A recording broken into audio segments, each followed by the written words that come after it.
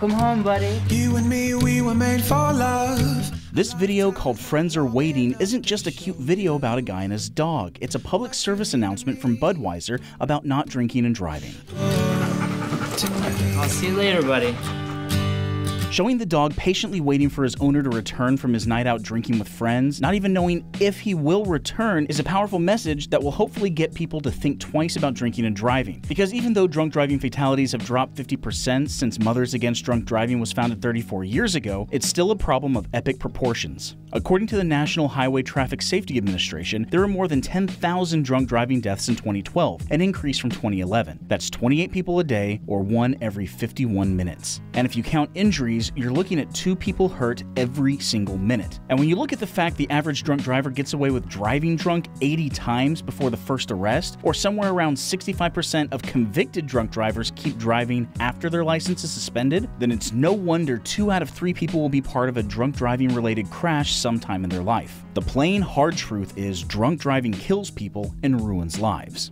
On that particular night, I made a mistake and got in my truck completely blacked out and decided to try to drive home.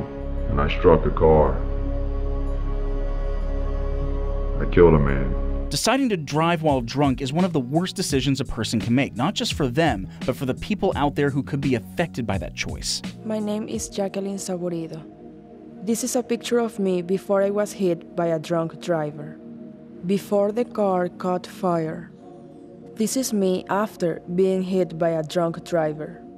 Reducing drunk driving can start with you. If you know you're going out to drink, get a designated driver. It's that simple. Apps like Be My DD can reserve a designated driver or use the GPS on your phone to locate one near you. And college kids can use Sobrio to connect to other college students in the area who will act as a designated driver. And while you're out drinking, stay safe with apps like Drink Tracker, which takes your age, height, weight, and calculates your blood alcohol level. Also, take advantage of taxi and Uber services in your area. The cost of these services is far less than a DUI or court cost costs, not to mention someone's life. And just in case you were wondering, yes, the dog's owner made the right choice and he made it home just fine. I decided I shouldn't drive home last night. I stayed at Dave.